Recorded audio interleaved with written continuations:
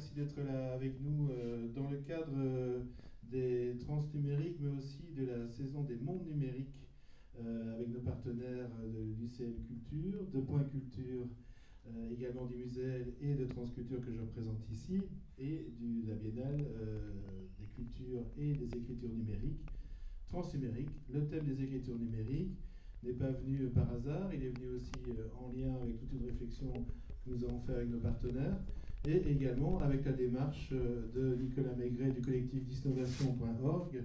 Nicolas qui est en résidence à l'UCL Culture, assisté euh, par Jacques Urbanska de Transculture et qui rencontre les étudiants pour euh, bientôt, je pense en mai, faire des projets communs autour de l'idée de Black Box, si je ne m'abuse. et également participer à une, réflexion sur les cultures, les écritures, mais aussi la disnovation, il va nous en parler plus en détail, la propagande ou les propagandes de l'innovation, euh, le fameux solutionnisme ou technosolutionnisme, le suppôt du technolibéralisme, euh, tout ce qui est consumérisme à outrance et dont euh, les technologies numériques sont également, peuvent être des instruments. Heureusement, elles ne sont pas que ça, mais elles peuvent l'être. Il faut développer une certaine technocritique et c'est de cela justement qu'il va nous parler. Technocritique et activisme avec un H entre euh, hacker, euh, action et art aussi. Euh, et Nicolas, justement, qui participe également, je le rappelle, à l'exposition disnovation.org, un des deux volets avec le cabinet de curiosité numérique, dans l'écriture numérique, cette exposition des écritures numériques qui est en ce moment, qui est ouverte la semaine passée au musée. Alors, dans ce cycle Penser l'écriture numérique, pourquoi penser numérique Parce qu'on pense justement qu'elles sont peut-être un peu impensées, ou en tout cas, ça manque peut-être d'un point de vue un peu multicritique. Je pense qu'ici, Nicolas va le développer à sa manière. Et euh, il y aura une deuxième conférence également de la numérique, je vous y convie déjà, c'est le 25 avril, le euh, simulacre numérique mort ou vif, point d'interrogation, par Régis Cotentin. Régis Cotentin, qui est un artiste euh, visuel, vidéaste, réalisateur, également d'installation, qu'on a beaucoup soutenu également euh, dans Transculture, mais qui est aussi commissaire d'exposition, euh, responsable des expositions d'art contemporain au Palais des Beaux-Arts de Lille, et qui vient de euh, terminer un doctorat passionnant à la Sorbonne autour de la question justement du simulacre numérique. Et on est, je pense, là aussi en plein dans un sujet brûlant des cultures numériques que nous mettons en question. Voilà. Euh, merci Nicolas Maigret et disnovation.org. Je lui laisse la parole pour technocritique et activisme. Bonsoir. Donc, euh, merci euh, Philippe, merci à Transculture et à l'UCL pour cette résidence et ce séminaire. donc, juste pour recontextualiser rapidement, je suis là pendant un an avec, dans, dans, le cadre d'un séminaire avec les étudiants UCL, on a une vingtaine d'étudiants et on travaille sur la question des boîtes noires technologiques. Euh, c'est-à-dire qu'on essaie avec eux d'identifier dans leur quotidien des, boîtes noires qui leur semblent influentes et euh, de trouver des méthodologies pour euh, rendre ces, boîtes noires partageables, visibles, sujets à débat, etc. donc l'idée c'est vraiment de, faire, de faire un, un focus sur la mécanique interne de, différents algorithmes et différentes technologies euh, que les étudiants rencontrent quotidiennement. voilà. Euh, donc, euh, moi, je parle ce soir en tant qu'artiste et en tant aussi qu'initiateur d'un collectif donc, qui s'appelle Disnovation. Et c'est un collectif qui, a été fondé il y a 6 ou 7 ans avec cette, idée de venir explorer justement euh, les problématiques de l'innovation et la manière dont euh, ce, discours autour de l'innovation est utilisé comme un, outil par le, système en place, par le système dominant, pour, par exemple, maintenir le, mythe de la croissance infinie, pour booster l'économie, pour Et du coup, en tant qu'artiste, on, joue également une place, on a une place dans cette mécanique, dans ce système global. Euh, il me semble, euh, et notamment en tant qu'artiste euh, qui travaille avec les technologies, puisque on se retrouve à une position de, d'organe de validation ou d'organe de dissémination de ces artefacts technologiques et du coup des, disons de, des fins politiques qu'ils servent ou qu'ils transmettent, qu'ils véhiculent. du coup, ça me semblait essentiel en tant qu'artiste qui manipule les technologies de recalibrer un peu le, discours et la position et de penser ce type de travail en tant qu'artiste comme un travail sur les problématiques technologiques et sur la manière dont les enjeux technologiques aujourd'hui affectent euh, la société, nos quotidiens, euh, et constituent une zone de friction euh, essentielle. et du coup, que cet ensemble de problématiques devienne le cœur en fait, d'une recherche artistique. Donc c'est vraiment ça le, nœud autour duquel s'est créée euh, l'innovation et que ça me semblait plus stimulant et plus euh, juste, plus euh, peut-être euh, plus actuel aussi, de travailler comme ça que de travailler avec les technologies ou sur les technologies pour en montrer les potentiels ou les, qualités esthétiques ou les nouveaux domaines à explorer. Chose qui est assez couramment faite et voilà, qui fonctionne assez bien toute seule. Et donc, euh, suite à, suite à ce projet, euh, ça a directement en fait, euh, connecté avec un deuxième projet beaucoup plus long dans le temps. C'est qu'en fait, à force de, de, circuler avec ce, ce, présent, ce précédent projet, d'échanger avec différents acteurs de, de, la scène du, piratage de contenu culturel, on a collecté énormément d'anecdotes, de, faits historiques, de pratiques. Euh, d'exemples de terrain, etc. Et on s'est rendu compte qu'il n'y avait pas vraiment d'ouvrage en fait, qui réunissait tout ça. Euh, donc on s'est mis à compiler en fait, euh, des, des, focus sur des, des, pratiques justement de ce qu'on appelle le, piratage de la nécessité, sont les, pratiques de piratage qui émergent d'un contexte dans lequel le, contenu original est soit difficile à, obtenir, soit impossible, pour des raisons politiques, religieuses, géographiques, etc. Euh, et dans ce livre, donc, on compile tout un ensemble euh, d'anecdotes et d'histoires et de pratiques euh, et aussi d'artefacts qui sont produits autour de ces cultures. Donc c'est un livre qui est volontairement disséminé de manière gratuite et voilà, téléchargeable, imprimable, etc.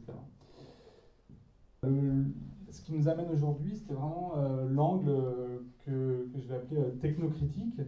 c'est cette idée que la chose technologique euh, est euh, vraiment le lieu euh, de, friction et d'enjeux critiques aujourd'hui dans notre société.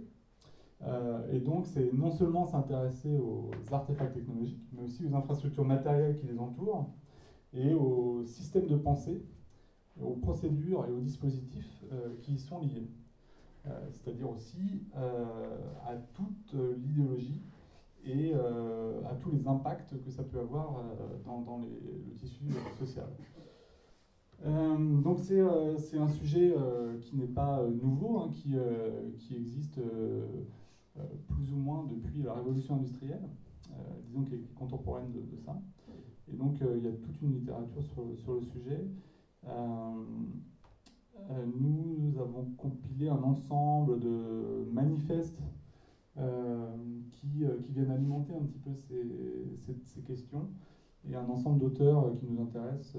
voilà, je pourrais y revenir pendant les questions si ça vous intéresse. et donc c'est sur, disons, sur ce, ce parti pris ou sur cette, cette base que différents des projets que je vais vous présenter ont émergé et s'inscrivent quelque part.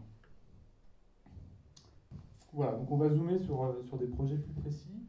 Euh, le, premier en fait qui nous intéressait, c'était euh, en fait comment, euh, comment sont décidés les, les, sites et les espaces visibles ou non sur Internet. C'est-à-dire que selon, selon où vous êtes autour du monde, il se trouve que, que vous en rendiez compte ou non, il y a tout un ensemble en fait, de, sites et d'espaces qui ne sont pas accessibles et qui sont, voire même délibérément, bloqués que ce soit par, par l'état dans lequel vous vous trouvez, euh, la nation, euh, que ce soit euh, par l'espace réseau dans lequel vous êtes, le fournisseur d'accès duquel vous dépendez, etc. À tous ces étages-là, il y a un ensemble de choix en fait, de, de blocage et de, restrictions qui sont appliqués. Et on a souhaité en savoir un peu plus en fait, sur comment sont décidées ces choses-là et qu'est-ce qui motive et d'où, comment se constituent en fait, ces, listes voilà, ces blocages. donc on peut démarrer par une petite citation que j'aime beaucoup, qui est tirée d'un livre de Finn Brunton. Le spam est produit et façonné par de nombreuses populations du monde entier, programmeurs, escrocs, boilerbot mastés, pharmaciens, marketeurs, voleurs d'identité, banquiers tordus et leurs victimes, flics, avocats, professionnels de la sécurité réseau, vigilants et pirates informatiques. Chaque fois que nous allons en ligne, nous participons au système de spam avec des choix, des refus et des achats dont nous ne comprenons pas les conséquences. Donc voilà, ça, ça s'adresse au spam, mais euh, c'est assez proche en fait euh, si on pense à toute la partie euh, d'Internet qui justement relève du, spam ou de, ou de, contenu principalement orienté sur, le, sur des services marchands ou escrocs.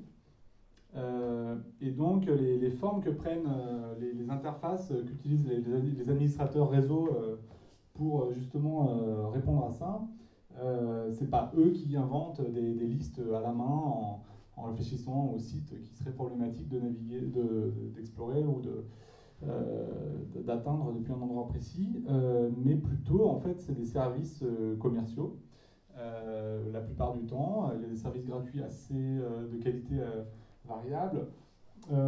et donc tout simplement, on choisit parmi des énormes listes accessibles et vendables achetable, euh, les catégories qu'on souhaite euh, ouvrir ou restreindre euh, dans une, enceinte du réseau dont on s'occupe. Donc ça peut être un aéroport, une ville, une université, ou à la maison avec un bon vu filtre parental. et du coup, voilà, les interfaces peuvent ressembler un peu à ça. Et lorsque un contenu vous est refusé, il y a tout un ensemble de, de fenêtres euh, assez folkloriques euh, qui peuvent ressembler à ça ou à des choses beaucoup plus spécifiques selon les pays où vous vous trouvez. il se trouve qu'en fait, ces listes, c'est des dizaines, voire des centaines de milliers de pages. donc là, vous voyez un petit peu les nombres selon les différentes sources. Et dans ces pages, bah, vous avez des choses désuètes qui n'ont pas été mises à jour ou euh, qui ne sont pas entretenus, donc des, restes de, des anciennes listes euh, qui s'accumulent depuis des années.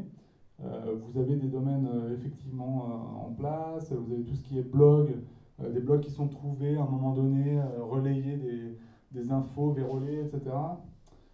et ensuite, carrément, des fois, des, adresses IP qui, qui, sont connues, quel que soit le, nom sous lequel elles, se diffusent, pour, pour abriter du contenu problématique.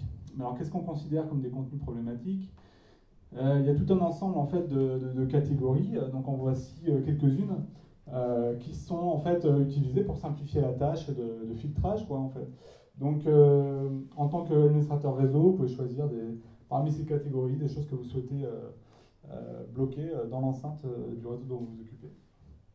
Et il y a des choses qui semblent assez évidentes, comme tout ce qui est publicité, tout ce qui est logiciel malveillant, malicious tout ce qui peut être euh, piratage, porno, euh, pharmacie, etc. Euh, mais aussi des catégories un peu plus surprenantes, comme vous pouvez voir féministe sur la deuxième colonne, qui sans doute répond à une demande qui a été faite par un des, clients de ces listes pour bloquer ce type de, contenu ou de, propos. donc la forme que prend le projet qu'on en a fait, c'est qu'on a téléchargé plusieurs, en fait, enfin on a souscrit à plusieurs de ces services. Euh, et on a réuni ces, centaines de milliers euh, de, sites, plusieurs millions en fait. Euh, et on en a fait une encyclopédie en 13 volumes de 666 pages chacun, qui est structurée comme un, annuaire téléphonique papier à l'ancienne, dans lequel on peut naviguer en fait par ordre alphabétique dans l'ensemble de ces, sites indexés, en ayant accès aussi à la catégorie, la raison pour laquelle a priori ils ont été blacklistés. Euh, donc ça prend. Euh, chacun des tomes prend cette forme, donc la, forme vraiment assez classique d'une encyclopédie. Et ensuite, euh, on a des pages entières de, noms triés par ordre alphabétique. Donc, du coup, énormément de sites dont les noms ne diffèrent que par une ponctuation ou quelques lettres, etc. et c'est comme ça sur des milliers de pages. Donc ensuite, ce qui est intéressant, c'est qu'on a quasiment une visualisation de données par, par cet ensemble de tomes. mais comme dans un projet numérique interactif, on peut, euh, on peut zoomer jusqu'au moindre, euh, moindre détail et naviguer euh, à notre gré dans, dans l'ensemble des, des, ressources. donc voilà à peu près sur ce projet. donc la citation qui va suivre, justement, nous éclaire sur ces questions-là. L'évolution tend vers les franges, elle ne s'arrête pas à un point idéal mais s'adapte sans cesse à l'imprévu. Les sociétés de Chanzy ont commencé en tant que fabricants de simples copies bon marché, mais elles se sont mises à niveau vers des versions beaucoup plus localisées des produits initiaux, ajoutant des fonctionnalités supplémentaires, personnalisant selon des demandes de niche. Ce faisant, elles piratent directement les chaînes de distribution de leurs concurrents géants. Donc c'est euh, un tout petit extrait d'un texte euh, assez fascinant qui s'appelle Future Mutation. Et euh, c'est vraiment sur les, liens entre l'évolution, tel que tel que le concept a été développé par Darwin, et la survie des inventions technologiques et leur, leur hybridation et leur évolution à travers le monde. Euh, donc un des premiers euh, téléphones qu'on a, qu'on a trouvé est celui-ci. C'est donc son, son, son, petit nom. Souvent, souvent c'est des noms qui sont empiriques, qui sont donnés. Euh, c'est le Ghana Phone ou le Power Bank Phone. Donc un téléphone chargeur, réserve d'énergie. Et qui en fait a été justement développé par des, compagnies chinoises pour répondre à un, cas très particulier qui est celui des, des, coupures énergétiques électriques très fréquentes, notamment au Ghana. Euh, et du coup, c'est euh, un téléphone qui a vraiment été pensé pour ce contexte euh, spécifique. Donc vous pouvez voir au-dessus une accroche qui permet de, de fixer le téléphone au plafond pour éclairer la salle dans laquelle vous vous trouvez. une batterie donc, qui est à peu près 5 fois plus grande qu'une batterie standard et donc qui permet de, survivre, enfin de, le garder en, état de marche pendant à peu près une semaine. Et ensuite, euh, vous voyez un port USB qui permet aussi de, recharger d'autres euh, euh, téléphones, ordinateurs, voire même d'éclairer une lampe à partir de ça. Donc c'est vraiment voilà, un objet qui a été pensé pour répondre justement à un impensé de l'industrie habituelle et de zones où les, disons, les, types de consommation ne sont pas intéressants pour les grands groupes, puisque euh, un achat de téléphone euh, se, fera a priori en dessous de 50 ou 60 euros et du coup euh, ça, ne, relève pas de, pratiques intéressantes pour des grands groupes qui communiquent énormément et qui ont énormément de dépenses dans, le RD, etc. voilà, un peu, je peux juste faire quelques focus sur quelques-uns de ces téléphones intéressants. Donc, en, il y a un des téléphones aussi qui a été développé euh, comme étant le plus petit téléphone euh, jamais conçu euh, et qui s'est retrouvé à avoir une, un, accueil très favorable, notamment dans les prisons anglaises. donc c'est ce téléphone-là qui, pareil, c'est pas son nom officiel, mais qui est devenu le Prisoner Phone ou Bit de Boss. Donc Boss, c'est une machine en fait de détection de métaux qui est utilisée dans les prisons anglaises. Euh, et il se trouve que euh, voilà, ce, téléphone a été retrouvé en grand nombre euh, dans, dans, les prisons en lien avec un, marché, un marché noir souterrain. Donc, donc c'est un téléphone qui fait la, taille d'un doigt. et qui, vous pouvez retrouver en ligne en fait des centaines d'histoires de toutes les manières dont ça, ça, a pu arriver jusque dans les prisons, forcément dans le corps, mais aussi avec euh, des, des, rats, des pigeons, des drones, euh, des barres de Mars, tout, ce que vous voulez. Euh, donc ce qu'on en a fait, c'est que on a recréé en fait un, un stand typique de, de, vente tel que vous pouvez en trouver dans différentes villes chinoises, notamment à Wanshanbei, le, quartier qui a été mis en place par tous ces, fabricants de contrefaçons et de, produits hybrides. et dans, ce kiosque, justement, vous avez une sélection de, ces, téléphones étranges avec des vidéos qui retracent justement les, les types d'usages, de fonctions et de, de contextes particuliers auxquels ils viennent répondre. Donc voilà, vous voyez le téléphone rasoir, le téléphone euh, squelette qui a été designé pour euh, les guitaristes. Euh, donc même l'interface est pensée de, cette manière, le, sound design est pensé de cette manière.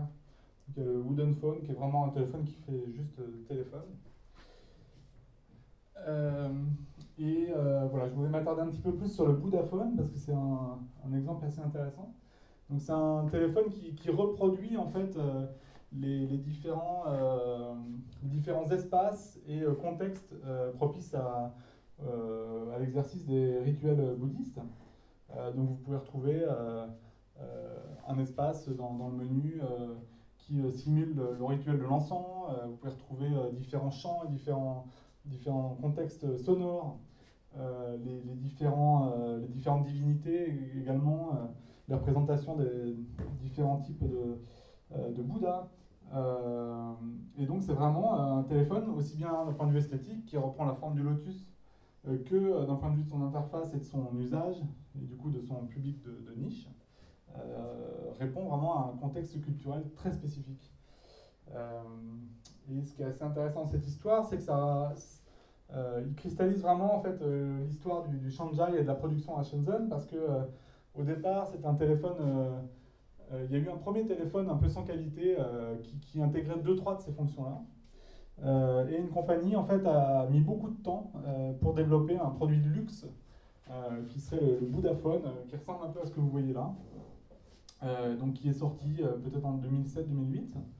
Et moins de 9 mois après, il y avait justement ce téléphone qui s'est retrouvé sur le marché et qui était la, la copie à 30 à 30 dollars euh, qui reprenaient à peu près les mêmes fonctionnalités. Et ça, c'est typique de, ces systèmes en fait, de, production et d'innovation euh, ultra rapides, euh, dans lesquels il n'y a pas vraiment de RD, il n'y a pas vraiment d'enquête de, satisfaction, etc. C'est plutôt un système où les, vraiment du type de la survie des espèces, c'est-à-dire qu'il y a des hybridations et des mutations permanentes qui survivent voilà, de par l'écho qu'elles ont lorsqu'elles sont euh, disséminés dans, dans, le, dans le monde.